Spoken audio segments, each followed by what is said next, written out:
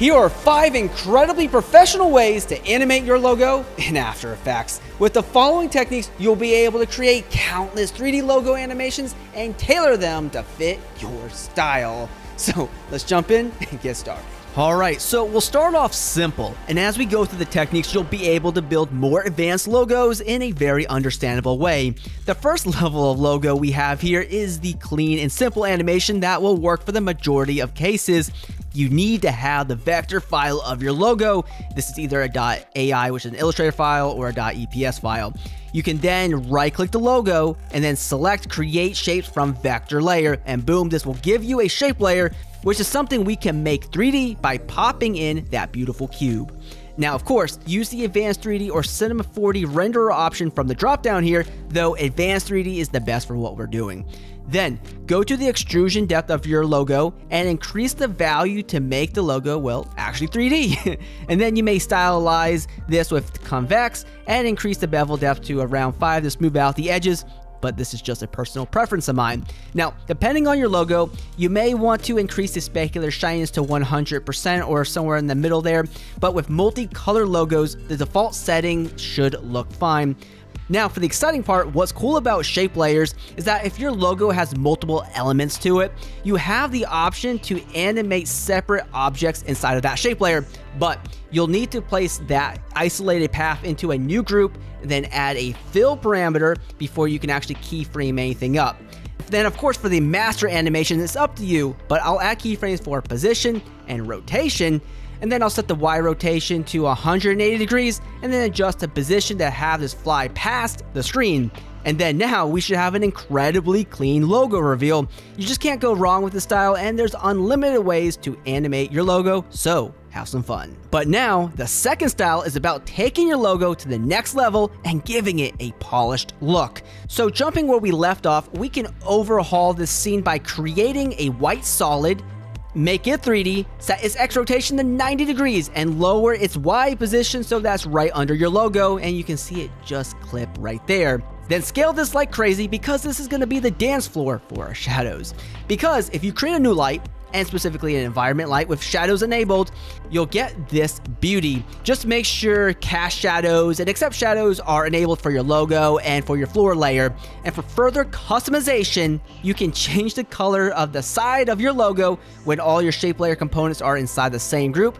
Then select that group and add side, color and then change the color to whatever that you like and you know pretty cool though to take the overhaul to the greatest of heights you can completely change the look of your scene by using HDRIs uh, and you can get these for free when you just do a quick search they're very easy to find then just set the light to your HDR and boom, instant change, though you may want to adjust your light's intensity and the floor shininess to experiment with the overall look.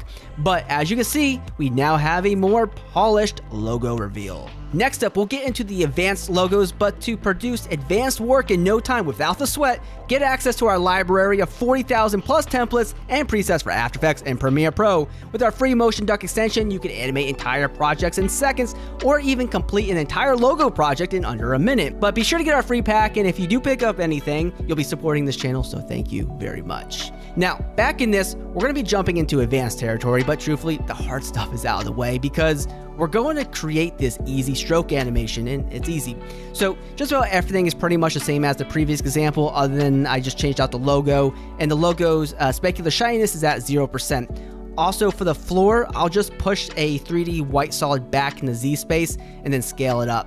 Now, because our logo is a shape layer, you can easily turn off the fill and enable stroke. And then you can set the stroke width to whatever fits your scene. Now, depending on your logo, the stroke may look awkward. So to help remedy the situation, try adding the offset paths property, which can widen the logo back to its original size. Now, add trim paths and then animate the start from 0 to 100% to give you a stroke reveal. And then you can also change the multiple shapes to individually if you would like to do that. And for us to actually say, you know, wow, this is cool, create a camera layer. The 50 millimeter preset is fine. And then split the layer at four seconds. So you have two cameras. And with the first camera selected, you can easily zoom in and swing around your logo just using the camera tools here at the top. Just cycle C on your keyboard to easily switch between them. I would also take a close look at keyframing the Z rotation of your logo to make it appear you're spinning around. And for the final camera, go ahead and keyframe the position and a point of interest to do essentially a slow zoom out by using the dolly towards cursor tool. And for more on the stroke logo animation, you can watch my expanded tutorial on this in the description below. Now, let's move on to logo number four, which is the most cinematic of the bunch because it's all about lighting. For this scene, we're not going to be using any HDRIs, just a default environment light. So firstly, I want to use a texture or just a cool looking image for my floor. So when you have something delightful, pre-compose it and make it a 3D layer and then just push it back under your logo uh, in Z position space. Now you're to want to increase the textures and the logo's specular shininess to probably 100% for this. Next, you're want to mess with the light's rotation values to get somewhat a contrasted look and then you're want to alt click the stopwatch for the Y rotation and use the time asterisk 100 expression to essentially time lapse the movement of the light and it looks pretty solid.